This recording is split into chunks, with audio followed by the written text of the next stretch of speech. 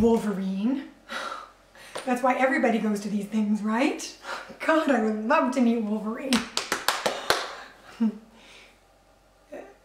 That's my nickname for Naomi Wolf. Who did you think I was talking about? Oh, yeah, of course, because I'm a woman, I must want to meet Wolverine. I get, yeah, okay. Okay, buddy, this is Femicon, all right? I mean, will Hugh Jackman be there? Because that'd be cool too. Hugh Jackman and, and Naomi Wolverine would be great.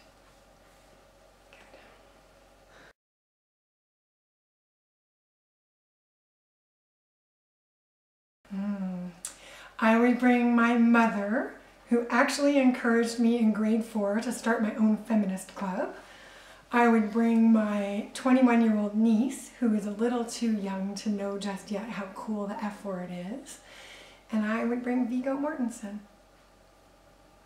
My ticket, I can do whatever I want with it.